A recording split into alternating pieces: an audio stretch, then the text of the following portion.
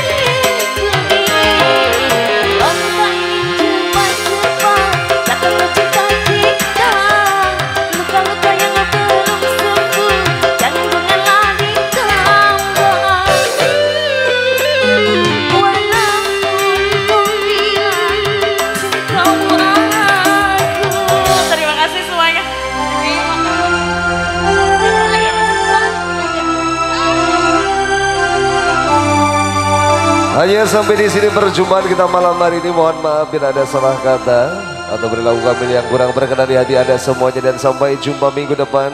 Wallahul muwaffiq aku wa Wassalamualaikum warahmatullahi wabarakatuh.